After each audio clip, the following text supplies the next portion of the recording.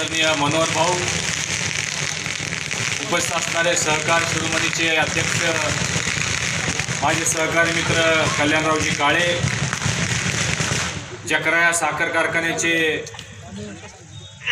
ज्येष्ठ चेअरमन आदरणीय जाधव सर विठ्ठल सहकारी साखर कारखान्याचे चेअरमन माझे मित्र भगीरथदादा बालके उपस्थित असणारे संजय अण्णा क्षीरसागर शंकररावजी वाघमारे माझ्या मातोश्री मंगल महाडिक माझी पत्नी अरुंधती महाडिक उपस्थित असणारे पृथ्वीराज महाडिक विशू भैया उपस्थित भैया महाडिक छोटू महाडिक पवन महाडिक विजय महाडिक तानाजीराव गुंड पाटील शिवाजीराव गुंड पाटील सुशील क्षीरसागर समताताई गावडे सज्जन पवार सर्जेराव चौरे भीमराव वसेकर उन्हाळे दादा पांडुरंग बचुटे सुनील चव्हाण संग्राम सर सुधीर भोसले प्रदीप निर्मळ महादेवभाऊ देटे विक्रम डोंगरे दत्तात्रय सावंत. व्यासपीठावरील सर्व सन्मान्य उपस्थित असणारे मोठ्या संख्येनं भीमा परिवारातील सर्व ज्येष्ठ सर्व शेतकरी पत्रकार छायाचित्रकार बंधून आज भीमा परिवाराच्या सर्व सदस्यांच्या वतीनं आणि विशेषतः भीमा सहकारी साखर कारखान्याचे माझे सहकारी सतीशांना जगताप आणि माझे सर्व संचालक आणि सर्व कर्मचारी यांच्या वतीनं राज्यसभेवर नियुक्ती झाल्याबद्दल माझा सन्मान आयोजित केलेला आहे. मी सतीशांना माझे सर्व संचालक आणि सर्व कर्मचारी यांचं मनापासून सुरुवातीला आभार मानतो. सर्व शेतकरी बंधूंचंही आभार मानतो. बंधून आपल्या सर्वांसाठी ही निवडणूक नवीन आहे. आपण पाहिलं असेल ऐकलं असेल चोवीस वर्षानंतर या राज्यसभेच्या निवडणुका झाल्या. यापूर्वी चार वेळा या निवडणुका बिनविरोध झालेल्या आहेत. सहा जागेसाठी ही निवडणूक झाली. या सहा राज्यसभेच्या जागेसाठी महाराष्ट्रातले दोनशे अठ्ठ्याऐंशी सन्माननीय आमदार हे मतदार होते. महाराष्ट्रातल्या कानाकोपऱ्यातून जे सन्मान्य आमदार निवडून येतात त्यांचं मतदान या राज्यसभेसाठी होत असतं. म्हणजे तुमच्या लक्षात आलं असेल की किती मोठी निवडणूक आहे. आणि ही एवढी मोठी निवडणूक धनंजय माडिकांच्या कल्पनेशक्तीच्या फार फार पलीकडची ही निवडणूक होती. माझ्या विचार क्षमतेच्या पलीकडची निवडणूक होती. आणि विचार होता इच्छा होती की आपल्याला राज्यसभेचं हे पद मिळावं. पण ते कसं शक्य? आहे दोन महिन्यापूर्वी कोल्हापूरमध्ये एक पोटनिवडणूक झालेली होती तुमच्या लक्षात असेल. तिथले एक आमदार ते वारले होते आणि तिथं एक निवडणूक झाली होती. त्यावेळी राज्याचे आमचे प्रदेशाध्यक्ष भारतीय जनता पार्टीचे चंद्रकांत दादा पाटील त्यांनी तिथं बोलताना सांगितलं होतं की दोन महिन्यामध्ये धनंजय माडिक हे तुम्हाला दिल्लीमध्ये दिसतील. आणि आमच्या विरोधी गटातल्या लोकांनी त्यांची चेष्टा केलेली होती की दादा काहीही बोलत असतात दादांना काय फार गंभीर गंभीररित्या घेण्याची आवश्यकता नाही असं आमचे विरोधक त्यावेळी बोललेले होते. आणि मी मी विचार करत होतो की कसं शक्य आहे? कारण ज्यावेळी ही निवडणूक घोषित झाली अनेक दिग्गज मंडळी या निवडणुकीमध्ये इच्छुक होते. तुम्ही बघितलं असेल पियुष गोयल साहेब इच्छुक होतेच कारण ते होतेच त्यामध्ये. अनेक माजी मंत्री इच्छुक होते अनेक मोठमोठे उद्योजक इच्छुक होते अनेक टी व्ही चॅनल्सचे मोठमोठे संपादक इच्छुक होते अनेक मोठ्या वृत्तपत्रांचे संपादक इच्छुक होते मोठे अर्बोपती खरबोपती कोठ्याधीश इच्छुक होते. आणि मग कुठं धनंजय माडिक? कसा त्यामध्ये माझा नंबर लागायचा? म्हणजे मी विवंचनेत होतो. इच्छा होती की आपला नंबर लागावा सर. पण मी विवंचनेत होतो की आपण हे राज्यसभा आहे. कोल्हापूर लोकसभा ठीक आहे. कोल्हापूर विधानसभा ठीक आहे. विधान परिषद ठीक आहे. पण विवंचनेत होतो की या सगळ्या दिग्गजांमध्ये आपला नंबर कसा लागायचा आणि मी प्रयत्नात होतो. दादा खूप मोठ्या प्रमाणात दादानी ताकद लावलेली होती. आमच्या कोल्हापूरचे एक आमचे विनय कोरे साहेब त्यांनीही त्या ठिकाणी शब्द टाकला होता वजन वापरलं होतं. अनेक लोक प्रयत्नात होते. पण फडणवीस साहेबांच्याकडं सुद्धा खूप लोकांचा दबाव होता. वेगवेगळे लोक वेगवेगळ्या ताकदीनं संबंध महाराष्ट्रातले लोक इच्छुक लोक त्यामध्ये होते. हे सगळं असताना आम्ही साहेबांच्याकडं फार प्रयत्न करत असताना अडचणी समोर होत्या मला वाटते मग शंकरराव बोलले. कारण एका जागेला निवडून येण्यासाठी बेचाळीस मतांचा कोटा होता बेचाळीस आमदारांची मतं लागत होती. दोन आमदार दोन खासदार निवडून येण्यासाठी चौऱ्याऐंशी मतं लागत होती आणि आमच्याकडं जी होती ती एकशे सहा मतं होती. अपक्ष धरून एकशे तेरा. म्हणजे जवळजवळ तेरा चौदा मतं आपल्याला अधिकची लागणार होती. आणि मग हे कसं शक्य आहे? मी सारखं फडणवीस साहेबांच्या संपर्कामध्ये होतो भेटत होतो की साहेब काय शक्य आहे का अशक्य आहे का? साहेब मला म्हणायचे की बाबा हे चौदाचा गॅप आहे चौदा दोन चार असं तुम्ही राजस्थानची निवडणूक बघितली असेल. राजस्थानमध्ये झी मीडियाचे जे पी गोयल साहेब होते ते तिकडून निवडणूक लढवले. फक्त चार मतं त्यांना पाहिजे होती चार पाच पाहिजे होती ते पराभूत झाले. चार पाच पाहिजे होती. चौदा मतांचा फरक होता. फडणवीस साहेब सुद्धा मला म्हणायचे बाबा गॅप मोठा आहे. आपण बाकी सगळं मिळवू शकतो पण संधी परत मिळत नाही. तुमची तयारी आहे का? धाडस करावं लागेल. मी म्हणलं साहेब माडिकांच्याकडे एकच तर आहे धाडस. धाडस आणि माडिक एकच आहे. आणि मी तयार आहे. साहेब म्हणले प्रयत्न करतो. प्रयत्न करतो. एका जागेसाठी केंद्रीय नेतृत्वाकडं सहा नावं पाठवायची असतात सहा. आणि अशा रीतीनं तीन जागेंसाठी अठरा नावं प्रदेशाकडून दिल्लीला पाठवण्यात आली. मला सांगण्यात आलं की तुमचंही नाव त्या अठरामध्ये आहे म्हणून.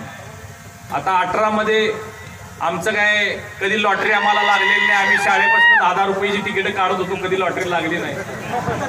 त्यामुळे अठरामध्ये नंबर लागत का नाही शंका होती. पण नाव होतं म्हणून दादानी सांगितलं. तीन जागेसाठी अठरा नाव पाठवली त्या धनंजय माडिकेचं नाव गेलं एवढंच आम्ही समाधानी होतो. कोल्हापूरचे आमचे सगळे लोक खुश होते. पण म्हणत होते काय?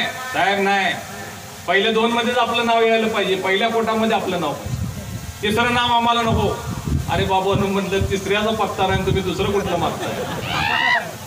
पण इच्छाशक्ती प्रेम करणारी लोक नावं तर गेली वाट बघतोय आम्ही. काय खरं नाही म्हणलं. आणि तो दिवस उजाडला. संध्याकाळी साडेपाच वाजता दोन नावं जाहीर झाली. एक पियुष गोयल आणि एक अनिल बोंडे साहेबांचं आमचं नाव जाहीर. झालं. हात पाय गळले आमचे. विषय संपला. बॅगा भरा म्हणलं. पंधरा दिवस मुंबईमध्ये होतो. कल्याणवर तुम्ही होता त्या दिवशी. चला म्हणलं आता बॅगा भरा. सगळी होती. मुलं होती. विशू होता. पृथ्वी होता. सगळे होते. सगळे माझे भाऊ होते. झालं म्हणलं आपलं. आता काय? केंद्रीय नेतृत्वानं ऐकलं नाही? कारण चौदाचा गॅप होता. चौदा आमदार मिळवणं सोपं नाही आहे. हे कदाचित केंद्रीय नेतृत्वानं त्यांच्या लक्षात आलं असेल आणि म्हणून आपली आता वर्णी लागणार नाही कुणाला नावं ठेवायचं नाही आपण प्रयत्न केला. त्यामध्ये यश आलं नाही. हे समजून आपण आपल्या बॅगा भरून आपण आपलं कोल्हापूरकडे जावं. असं होतं आणि सगळे कोल्हापुरातून फोन यायला लागले सगळीकडून फोन यायला लागले. साहेब हे काय? काय दिलं भाजपनं आपल्याला? दोन वर्ष आपण करतोय अमुक करतोय तमुक करतोय सगळे चिडले. नाराज झाले फोन घ्यायचाच बंद केला तर काय करणार? तेवढ्यात दोन अडीच तासानंतर एका मोठ्या भारतीय जनता पार्टीच्या नेत्याचा मला फोन आला. धनंजय जी कहा है आप?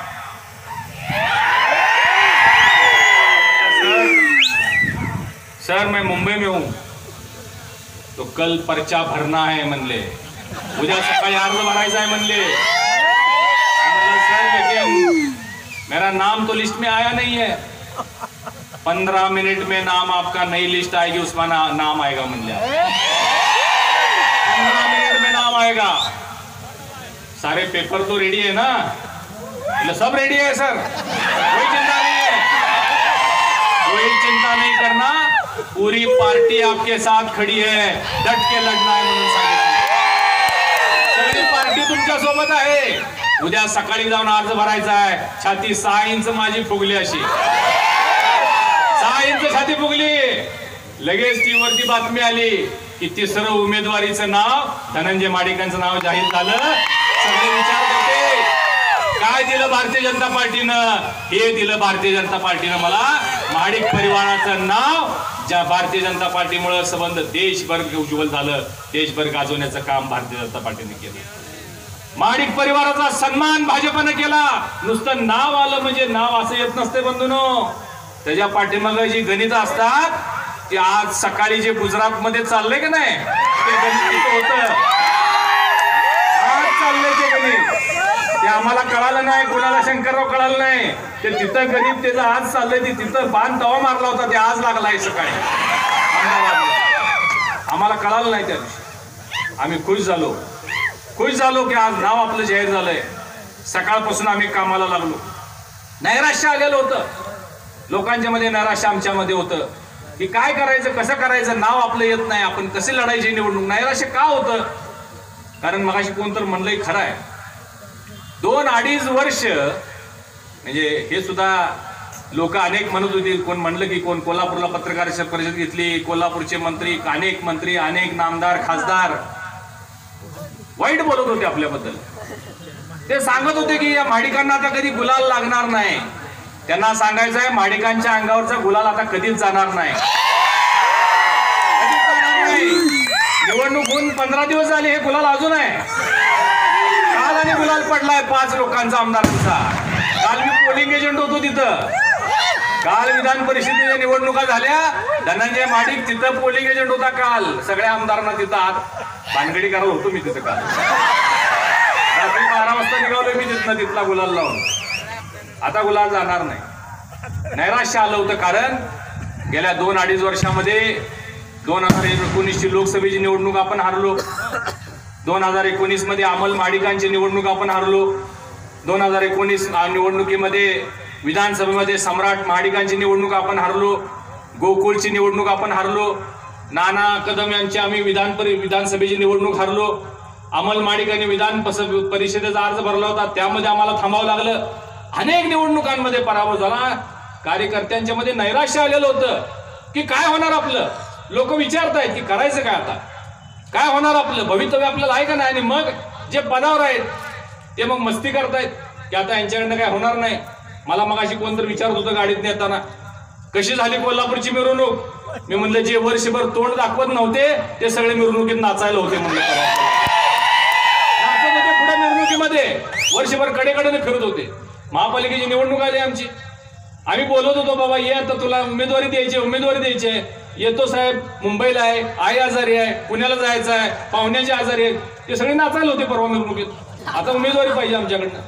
हा फरक आहे. सत्तेचा आणि पद्या पदाचा हा फरक आहे. हे सगळं जे नैराश्य आलेलं होतं तुम्ही बघितलं असेल टीव्हीला मिरवणूक परवा आमची बंधूनो ही निवडणूक सोपी नव्हती. ज्या दिवशी उमेदवारी जाहीर झाली माझं अख्खच्या अख्खं कुटुंब मुंबईमध्ये माझे अकरा भाऊ ज्या पद्धतीने भीमराव माडिकांचे भाऊ त्यांच्यासोबत होते हा कारखाना उभा करताना आणि शेती उभा करताना राज्यामध्ये वेगवेगळ्या जिल्ह्यांमध्ये आमचे सगळे माडिक बंधू जसे त्या पद्धतीने आहेत त्या पद्धतीने धनंजय माडिकाच्या पाठीमागं माझे सगळे भाऊ मुंबईमध्ये आणि मुंबई बरोबर माझ्या सगळ्या महाराष्ट्रामध्ये जेवढे आमदार आहेत दोनशे अठ्ठ्याऐंशी आमदारांमध्ये सव्वा दोनशे आमदारांमध्ये तीन दिवसामध्ये माडिक परिवाराचा एक एक सदस्य जाऊन पोहोचलेला होता तीन दिवसामध्ये. एका एका आमदाराच्या जाऊन पाया पडले आणि विनंती केली की धनंजय माडिकांना साथ द्या. भारतीय जनता पार्टीचे सगळे नेते सुद्धा आवाग झाले. काय म्हणले हे माडिकांची यंत्रणा? तीन दिवसामध्ये प्रत्येक आमदाराच्या राज चंद्रपूर चंद्रपूर पर्यंत त्या त्या जंगलामध्ये. डहाणू कुठं कुठंपर्यंत सगळीकडं अमल माडिक एकीकडं सम्राट माडिक इकडं पृथ्वीराज माडिक इकडं विशू एकीकडं कृष्णा एकीकडं राहुल माडिक एकीकडं छोटू एकीकडं भैया एकीकडं सगळे एक ना एक भाऊ. पंचवीस जिल्हा आमचे सतीश अण्णा एकीकडे गेले. सगळे सगळे संचालक. जिकडं तिकडं सगळीकडं माडिक आणि पोचले. आणि या निवडणुकीमध्ये आपण बघितलं की तो दिवस त्या निवडणुकीचा आला. मी हसत होतो. सगळे म्हणायचे चॅनलवाले यायचे. साहेब दडपण काय आहे का नाही? टेन्शन प्रेशर साहेब टेन्शन दडपण आहे का नाही? उमेदवार आहे. दडपण आहे. उमेदवार आहे. दडपण आहे पण विश्वास आहे. तो माझ्या नेत्यावर माझ्या देवेंद्र फडणवीसवर माझा विश्वास आहे. तो मला पडू देणार नाही मला निवडूनच आणणार. कारण जर मला पडायचं असतं तर माझं नावच यादीत आलं नसतं. हा मला विश्वास होता. मी सांगितले की तुम्हाला त्या दिवशी या यादी जी जाहीर झाली ती यादी त्या दिवसासाठी नव्हती. ती यादी आजसाठी होती. आज जे सुरू आहे का नाही महाराष्ट्रात? हे सगळं तिथनं सुरू झालेलं आहे. आणि मग तो दिवस आला. त्या मतदाना दिवशी जर बघितलं तुम्ही तर एक वातावरण तंग होतं. त्या सभागृहामध्ये ज्यावेळी मतदान सुरू होतं तंग होतं सगळं. तुम्ही टीव्ही बघितलं असेल रातभर सगळा महाराष्ट्र जागा होता. त्रेसष्ट राज्यसभेच्या जागांच्या निवडणुका झाल्या त्या दिवशी त्रेसष्ट. पाच सात पाच वाजता निकाल सुरू झाले सात वाजता सगळे निकाल संपले. एकच निकाल राहिला होता धनंजय माडकाचा. पहाटे पावणे चार पर्यंत चालू पावणे चार पर्यंत सगळीकडे सगळं महाराष्ट्र जागा होता. सगळी मुंबई जागी होती. आणि एक क्षण आला अडीच पावणे तीन वाजता. धनंजय माडिक सत्तावीस आणि ते तेहतीस. सगळ्यांच्या काळजाचं ठोकं थड धड धड धड धड करत कुणाला काय कळना काय झालं? आणि बातमी आली धनंजय माडिक विजय. धनंजय माडिक सत्तावीस. संजय पवार तेहतीस. आणि धनंजय माडिकांचा विजय. कळलं काय झालं सगळे सेकंड प्रेफरन्समध्ये त्यांच्या आमच्या लोकांची जी मतं ट्रान्सफर झाली ही प्रेफरन्शियल वोटिंग प्रमाणात असते. आणि साडेचार पावणे साडेचार साडेतीन पावणे चार वाजता हा निकाल जाहीर झाला. आणि आमचे जे मगाशी मला वाटते कुणीतरी सांगितलं की जी रणनीती देवेंद्र फडणवीस साहेबांनी आणि चंद्रकांत दादाने आखलेली होती ती रणनीती कूटनीती म्हणा त्याला कसली नीती म्हणायची ती म्हणा ती नीती या महाविकास आघाडीच्या तिन्ही या पक्षावर भारी पडली आणि भाजपचे तिन्हीच्या तिन्ही खासदार हे निवडून आले. हा इतिहास घडलेला इतिहास घडलेला आहे. ऐतिहासिक झालेली ही निवडणूक अशक्य कोटीतली ही निवडणूक होती. ही निवडणूक झाली आणि धनंजय माडिकाचं नाव राज्यभर नाही तर देशभर कानाकोपऱ्यामध्ये लहान लहान पोरांपर्यंत पोचलं ही ती निवडणूक दहा तारखेची होती. सात वाजेपर्यंत हे सगळं चाललेलं होतं आपण सगळ्यांनी पाहिलं. आणि एकच जल्लोष एकच जल्लोष संबंध राज्यभर झाला कोल्हापूरमध्ये झाला. बंधून हा विजय हा विजय गरजेचा होता हा विजय सोपा नव्हता. हा विजय खूप गरजेचा होता. लढाई मोठी होती लढाई कठीण होती. पण मी आभार मानेन या निमित्तानं. प्रधानमंत्री मोदीजींचं अमितभाई शाह यांचं आमचे जे पी नड्डाजी यांचं आमचे नेते फडणवीसजी चंद्रकांत दादा आणि भाजपची सगळी टीम हे सगळे होतेच. त्याचबरोबर ज्यांचा आशीर्वाद माझ्या पाठीशी होता ते आमचे माडिक दादा आमचे माधवरावजी माडिक साहेब. यांचा आम्हाला नेहमीच आशीर्वाद असतो साथ असती ताकद असती. आणि दादांची पुण्याही ही या कामी आली. कारण आम्ही तयारी करतो तो दोन हजार चोवीसची. की दोन हजार चोवीसला आपल्याला तयारी करायची आहे वर्षभर आता सुरुवात करावी लागेल. आणि यात सगळ्यात महत्वाचं काय असेल या या निवडणुकीमध्ये कामाला कारण मला पंधरा दिवसापूर्वी मला हे माहिती नव्हतं की अशी एखादी राज्यसभेची निवडणूक येणार आहे मला त्यात उमेदवारी मिळणार आहे मी त्यात निवडणूक लढवणार आहे आणि मी खासदार होईन पंधरा दिवसात मी खासदार होईन मला माहिती नव्हतं. पण एक गोष्ट कामाला आली ती म्हणजे आयुष्यात मी कोणी कुणाचं वाईट चिंतलेलं नाही कधी कुणाचं वाईट केलेलं नाही. मनात वाईट विचार येतच नाही. हे शिकवण आम्हाला दादाने दिलेलं आहे. कधी कोणाचं वाईट चिंतलेलं नाही. आणि म्हणून या निकालानं एका निकालानं या एका क्षणानं आपण राज्याच्या या राजकारणामध्ये आपला समाविष्ट झालेला आहे. राष्ट्रीय राजकारणामध्ये आपला समावेश झालेला आहे. पावण्या चार वाजता राष्ट्रीय नेत्यांचे फोन आले मला. अभिनंदन केलं कारण ते सुद्धा जागे होते. कारण एक एक राज्यसभेची जागा त्या केंद्राच्या सगळ्या राजकारणामध्ये अर्थकारणामध्ये खूप महत्त्वाच्या असतात. राज्याच्या निवडणुकांमध्ये राज्य राज्याच्या राजकारणामध्ये केंद्राच्या राजकारणामध्ये आपला समावेश झालेला. आज आजच मी अरुंधती आम्ही पुण्यावरून येत असताना आम्ही मला वाटतं इंदापूरच्या पुढे आलो असेल. आणि चंद्रकांत दादाचा फोन आला की कुठं आहे तुम्ही? मी म्हणलं दादा रात्री आता सगळ्या निवडणुका रात्री पण आम्ही एकपर्यंत पुण्यात मुंबईतच होतो. मी म्हणलं आज निघालोय कारखान्यावरती. असा असा कार्यक्रम. नाही नाही म्हणले तुम्ही परत या. आपल्याला ते गुजरातला जायचं आहे. अमुक सुरू झालंय अहो दादा म्हणले इकडे एवढा मोठा कार्यक्रम आहे. पाच चार पाच हजार लोक येणार आहेत. नाही नाही नाही म्हणले कार्यक्रम कॅन्सल करा. तुम्हाला गुजरातला जायचं आहे. म्हणजे तुम्ही विचार करू शकता की आता कशा पद्धतीनं आपल्याला राज्याच्या राजकारणामध्ये आपल्याला आता समावेश केलं जाणार आहे पक्षाच्या वतीनं. ही ही आता नवीन पद्धतीची मागणी आता आपल्या परिवाराची आपल्या ताकदीची आपल्या शक्तीची या भाजपच्या वतीनं आपल्याला आता भविष्यामध्ये आपली मागणी वाढणार आहे. आणि म्हणून भविष्यात मला सरांनी जे सांगितले मी मान्य करतो. पूर्वी सुद्धा सर मी ज्यावेळी लोकसभेमध्ये काम करतो त्यावेळी मी खूप वेळा ऊस साखर साखर कारखानदार साखर कारखानदारांचे कामगारांचे प्रश्न लोकसभेमध्ये मांडणारा मी एकमेव खासदार होतो. अनेक वेळा मी मांडलेले दुधाचे प्रश्न मांडलेले. आणि आता तर तुम्हाला चिंता करण्याची गरजच नाही. हे इथेनॉलचे प्रश्न असतील. साखरेचे दर वाढले पाहिजे. साखरे दर वाढलेच पाहिजेत एकतीस पस्तीस का? चाळीस रुपये झाले पाहिजेत दर. त्याशिवाय आमच्या शेतकऱ्यांचं जीवन उज्ज्वल होणार नाही हे मला माहिती आहे. आणि मी तेच करणार आहे भविष्यामध्ये. इथेनॉलच्या पॉलिसी चांगले आलेले आहेत. एफ आर पीचे रेट एम एस पीचे रेट हे सगळे भविष्यात चांगले झाले पाहिजे. त्या दृष्टिकोनातून माझा प्रयत्न असणार आहे. माझा अजेंडाच तो असणार आहे की शेतकरी हाच केंद्रबिंदू मानून मी भविष्यात राज्यसभेमध्ये काम करणार आहे. हे आणि त्याचबरोबर ज्याचा उल्लेख अनेक नेत्यांनी संजय अण्णांनी केला असेल किंवा सतीश अण्णांनी केला आमच्या किंवा शंकररावनी केला की पश्चिम महाराष्ट्रामध्ये भारतीय जनता पार्टी ही सक्षम मजबूत झाली पाहिजे. मग त्या जिल्हा परिषदेच्या निवडणुका असतील महापालिका असतील नगरपालिका असतील किंवा येणाऱ्या विधानसभा असतील यामध्ये भारतीय जनता पार्टीचा झेंडा हा मोठ्या प्रमाणात फडकवला गेला पाहिजे. यासाठी आपण सगळ्यांनी भविष्यात काम करूया. ही ग्वाही मी तुम्हाला आज या निमित्तानं देणार आहे. बंधू भगिनींनो विमा कारखान्याची सुद्धा निवडणूक आता दोन तीन दिवसामध्ये जाहीर होणार आहे. आणि या निमित्तानं कल्याणरावनी सुद्धा एक चांगली भूमिका या ठिकाणी घेतलेली आहे. खरं पाहता मी या निमित्तानं पंढरपूरचे आणि मोहोळचे जे नेते मंडळी आहेत त्यांना एक नम्र विनंती करणार आहे. भीमाची निवडणूक बिनविरोध व्हावी यासाठी आपण सर्वांनी प्रयत्न करावेत अशी मी विनंती करतो. मला पंढरपूरचे जे नेते आहेत परिचारक साहेब त्यांची फारशी अडचण दिसत नाही ते समंजस आहेत. ते या बाबतीत निश्चित विचार करतील.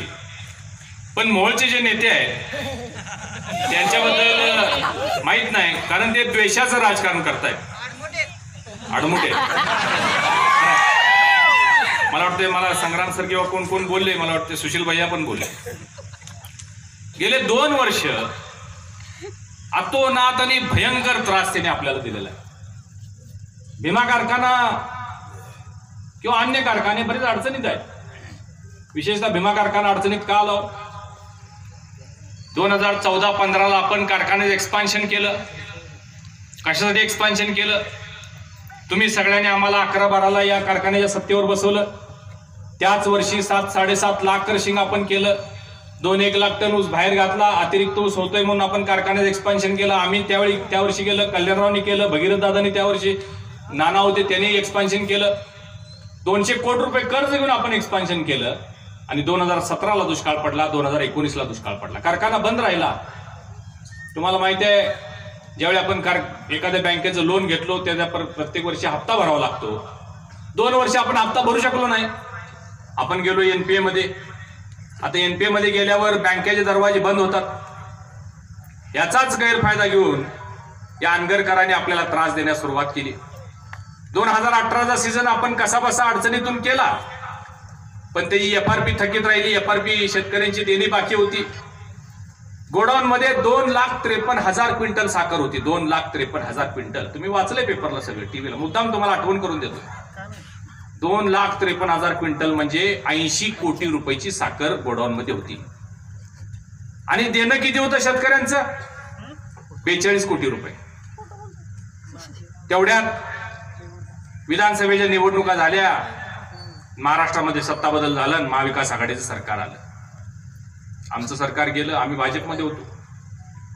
या मंडळीने मोहोळ तालुक्याच्या मंडळीने त्याचाच गैरफायदा घेऊन दोन हजार वीस साली जानेवारी महिन्यामध्ये आर आर सीची कारवाई आपल्यावर केली आणि सगळे साखर कारखाने जे आपले सातीचे साती गोडाऊन सील केले.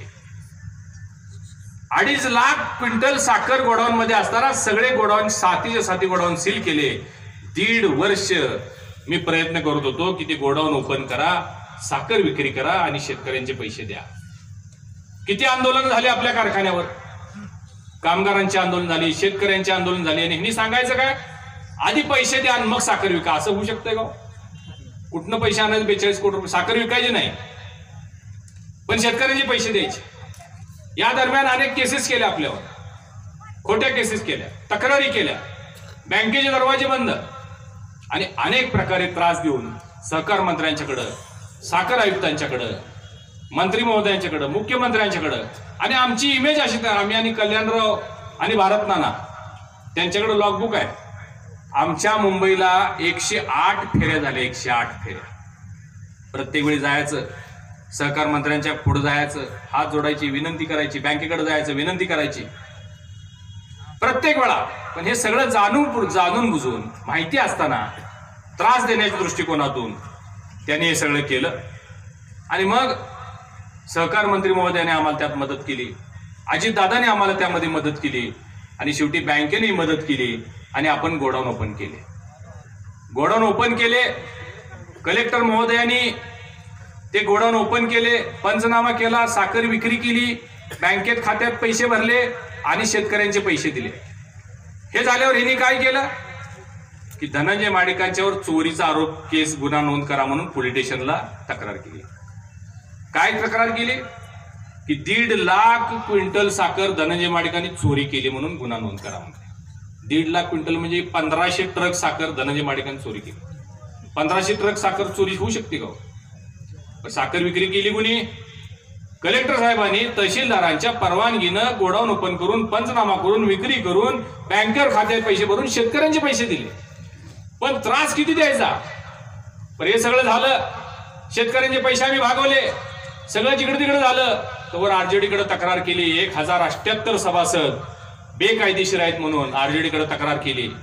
सगळे पुरावे आम्ही दिले. हे शेतकरी दोन वेळा यांनी कारखान्याला मतदान केलं. आमचे अफसर पैलवान आहेत त्यामध्ये. त्यांचा शरीफ पैलवान इथं बसलेला असेल तो. यांची सभासद रद्द केलं. आमचा सुनील चव्हाण आहे त्याच्या कुटुंबियातले केले. आमचा नाना पवार आहे इथला अंकुले त्याच्या कुटुंबातले रद्द केले. एक हजार अठ्याहत्तर सभासद एका रात्रीत रद्द. आम्ही आरजेडींकडे आम्ही विनंती करतोय अशा पद्धतीने रद्द करू नका. दोन दोन वेळा या लोकांनी मतदान केलेलं आहे. पण सरकार त्यांचं होतं. वर्ण दबाव आहे म्हणून सांगतात आम्हाला. वर्ण दबावावर कुणाकडे वर्ण दबाव आहे? आम्ही मुख्यमंत्री महोदयांपर्यंत गेलो तवर इकडे ऑर्डर झाली. ती ऑर्डर घेऊन आम्ही सहकार मंत्र्यांकडे गेलो तवर ती ऑर्डर कायम झाली. हायकोर्टात गेलो. तवर दुसऱ्या आणि सातशे लोकांच्यावर हिने आणखीन सातशे लोक अपात्रसाठी आरजेडीकडे तक्रार. त्या सातशे लोकांना पुन्हा अपात्र पुन्हा सहकार मंत्री पुन्हा हायकोर्ट. अशा पद्धतीनं त्रास. आणि मग पुन्हा आमच्यातल्या सुद्धा नाना पवार सुनील चव्हाण यांनी सुद्धा त्यांच्यावर विरोधात्मक तशाच पद्धतीच्या तक्रारी केल्या. आणि मग त्यांच्या लक्षात आलं की आता हे काही सोपं काम नाही. साडेतीन हजार लोकांच्यावर त्यांच्या तक्रारी केल्या. फक्त सातशे त्यातली वाचली आणि अडीच हजार त्यांची उडून गेली. मला माहीत नाही कशा निवडणुका आता मला माहीत नाही ते कशा निवडणुका लढवणार आहेत. पण त्यांच्या लक्षात यायला पाहिजे की त्यांनी दोन एक टाकळीच आणि एक कोताळी दोन माकडं ठेवलेले. त्यांना मुंबईला या जायचा खर्च देतात. त्यांना भुकायला ते अडकं टाकतात. काय काय चालू आहे त्यांचं आम्ही सगळं हे आतापर्यंत सहन केलं. आता मी सहन करणार नाही. आता आम्ही सगळं केलेलं आहे. सगळ्या आमच्या ज्या काही अडचणी होत्या त्या सगळ्या सहकार मंत्री महोदयांना डींना त्याचबरोबर मुख्यमंत्री महोदयांना साखर आयुक्तांना सगळं आता माहीत झालेलं आहे की ज्या ज्या काही तक्रारी केल्या होत्या त्या सगळ्या खोट्या होत्या. सगळं आता आमचं चांगलं झालेलं आहे. या सगळ्या अडचणीतून आम्ही मार्ग काढले सगळे एफ आर पी दिली. कारखाना चालू करण्यासाठी अडचणी होत्या. धनंजय माडिक महाराष्ट्रातला एकमेव असा चेअरमन असेल ज्यांनी स्वतःच्या कोल्हापुरातल्या आणि इथल्या जमिनीत तारण देऊन कारखाना चालू केला आणि यावर्षी पाच लाख कृषी केलेला आहे. एकमेव चेअरमन आहे. माझ्या जमिनीत तारण देऊन मी कारखाना चालू केला पण कुठलंही अडचण कारखान्याला येऊ दिली नाही. आणि इथनं पुढे कसलीच अडचण नाही. आता मी खासदार झालेलो आहे. आता कसलीही अडचण नाही. आता मला या निमित्ताने एवढंच आपल्याला सांगायचं की आता इथून पुढं कसलाही दबाव चालणार नाही. इतके दिवस त्रास दिला तो दिला. इथून पुढं म्हणजे तुम्हाला त्रास जे लिलाव करतात त्या साखर व्यापाऱ्यांना सुद्धा यांनी फोन करून सांगायचं स्वतः फोन केलेले आहेत त्यांनी अनगरकरांनी. त्याचे रेकॉर्डिंग आहेत आपल्याकडे. तुम्हाला वाटेल की काय सांगतात हे वस्तुस्थिती आहे. म्हणून मी मुद्दाम सांगितले की आता त्यांनी मला एवढं सांगायचं की आता मी सहन करणार नाही आता करारा जवाब मिलेगा. मी एवढ्या दिवस का गप्प होतो? कारण ते सत्तेमध्ये होते. आता मी सत्तेमध्ये आहे. त्यांचं जे सगळं होतं त्यांचा कारखाना तो सहकारी कसा झाला सहकारी करताना तुमच्या तुमच्या नरड्याला नख लावून कशा सोसायटीतनं पैसे घेतलेले आहेत ते सगळं माहिती आहे मला त्याचं दप्तर आहे माझ्याकडं. त्याच्यानंतर तो खाजगी आम्ही भीमा कारखाना ताब्यात घेतल्या घेतल्या त्याने तो खाजगी करताना कशा तुमच्या सह्या घेतल्यात किती जणांच्या घेतल्यात किती खरे आहेत किती खोटे आहेत त्याचं दप्तर माझ्याकडे आहे. पुन्हा ते कसं केलं दिल्लीतनं ते मला माहिती आहे. नक्षत्र म्हणून त्यांची जी कंपनी आहे त्यात चौसष्ट कोटीचा घोटाळा कसा केला? त्याचं दप्तर माझ्याकडे आहे. त्याचबरोबर कोर्टामध्ये आज ते सगळे सगळे त्यांच्यावर गुन्हा नोंद झालेला आहे. आणि ते सगळे जामिनावरती बाहेर आहेत. त्यांचे सगळे कुटुंबीय त्यामध्ये आहेत. त्यांची पत्नी मुलं मुली. मी गप्प का होतो? कारण कुटुंबीय त्यामध्ये आहेत.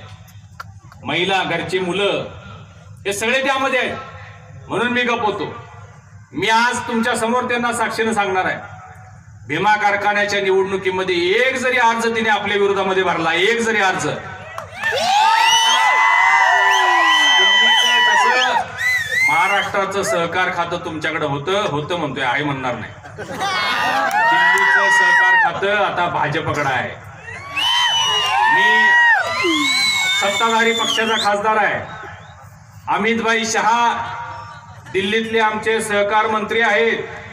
आणि तुम्हाला माहीत आहे दिल्लीच्या ज्या चौकशीच्या ज्या काही कमिटी असतात त्या कशा असतात?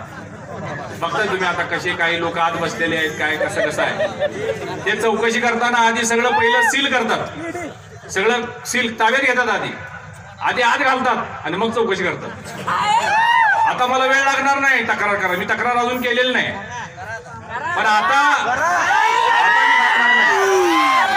मला करणार नाही. मी फक्त एक अर्ज देण्याची फक्त गरज आहे आणि तुमचं सगळं हे उद्ध्वस्त व्हायला वेळ लागणार नाही. त्यामुळे तुम्ही आत्ताच हा ते मी नाव घेतो खतरनाक आहे तुम्हाला माहिती आहे. हा त्या केंद्रीय चौकशी समित्या ह्या वेगळ्या पद्धतीने त्यांचं काम असतंय. ते सगळं ताब्यात घेत्यात. जप्त करतात सील करतात. आणि मग पुढे काय काय होतंय ते तुम्ही बघताय चित्र समोर आहे तुमच्या. तुमच्या कुटुंबातले लोक आहेत त्यामध्ये. तुम्ही सावध व्हा. मी आत्ताच सावध करतोय तुम्हाला. कारण मला तुम्ही खूप त्रास दिलाय. माझ्या कुटुंबाला त्रास दिलाय. माझ्या कारखान्याला त्रास दिलाय. म्हणून भविष्यात आपण अशा पद्धतीनं त्रास देऊ नका. तुम्ही सगळ्यांचा वापर केला आमच्या कोल्हापूरच्या पालकमंत्र्यांचा तुम्ही त्यामध्ये वापर केला. आमचे खासदार कोल्हापूरचे आमदार खासदारांचं लेटर पॅड. हे कशासाठी वापरतात तो? विकास निधीसाठी वापरायचं असतं. रस्ता गटर पाणी अमुक तमुक. त्या लेटर पॅडवर ते आमच्या आमच्या खासदारांच्या आमच्या त्या पालकमंत्री लेटर पॅडवर धनंजय माडकाच्या विरोधात तक्रारी. हे घेतात. आणि दोन माकडं पळतात घेऊन पत्र देऊन. ते मला तिथंच भेटतात. तुमचे मोळचे सुद्धा आमदार असतात त्यामध्ये. तिथे ते घेऊन पत्र देतात तक्रार करा. मला बघून इकडे तिकडनं पळत असतात ते मंडळी त्यांना माहीत नाही. त्यांनी सुद्धा दोन हजार एकोणीस त्यांचं मतदानाचे सगळे ते आधी काढून बघितले पाहिजे त्यांना लीड कुठने मिळालेलं आहे ते लक्षात येत नाही त्यांच्या. त्यांना लक्षात येईल त्यांच्या. आणि म्हणून मला इशारा द्यायचा आहे की हे सगळं थांबलं तर बरं आहे नाही तर आता पुढं भविष्य आता आमचं आहे भारतीय जनता पार्टीचं आहे. चांगलं काम करा. द्वेषाचं राज करू नका. शेतकऱ्यांच्या हिताचं राजकारण करा. शेतकऱ्यांना दोन पैसे चांगले मिळतील या दृष्टिकोनातनं काम करा. स्पर्धात्मक काम करा. वजन काटा मारायचं बंद करा. चांगला जिल्ह्यात सगळ्यात पहिला दर एकवीसशे रुपये मी जाहीर केला. ते तुम्ही करा. आम्ही तुमचं स्वागत करू आम्ही तुमचं कौतुक करू. लोकांना त्रास देऊ नका. इतर कारखान्यांना त्रास देऊ नका. मला एवढंच सांगायचं आहे. बंधूनो लवकर लोकांची उस जातील यासाठी आपण प्रयत्न केला पाहिजे. आम्ही चांगला दर देऊन लोकांना चांगल्या दृष्टिकोनातनं काम केलेलं आहे. आणि म्हणून मी सांगणार आहे आज सतीशांना असतील तर आमचे सगळे संचालक असतील. कुणीही आगाऊ अर्ज भरायचे नाहीत.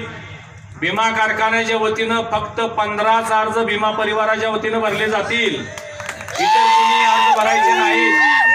भरले तर मग ते काय बरोबर होणार नाही. आमच्या इकडंच अर्ज आणून द्यायचे तिकडे जाऊन परस्पर कचेरीत भरायचे नाहीत. इथं जिथं कुठं आपला ठिया असेल तिथंच अर्ज आणून द्यायचे. आपण सगळ्यांनी मिळून विचार करून मी असं म्हणणार नाही तुमच्या परस्पर अर्ज भरायचे. आपण बैठक घेऊ आपण विचार करू आणि विचारांती आपण सगळ्यांनी मिळून जे काय असतील ते अर्ज भरूया. कारण मला आज मी सांगितलं तुम्हाला मगाशी मला आजच बोलवलं होतं. पण मी उद्या सकाळी पाटे लवकर निघालोय. मला कदाचित गुजरातला किंवा जे काय आता घडामोडी चालल्यात दोन दिवस मला तिकडे जावं लागेल. ते आता तिकडून जाऊन आल्यानंतर दोन दिवसानंतर येऊन आपण त्याविषयी चर्चा करून आपण अर्ज भरू. पण तत्पूर्वी कुणीही परस्पर काही करू नये.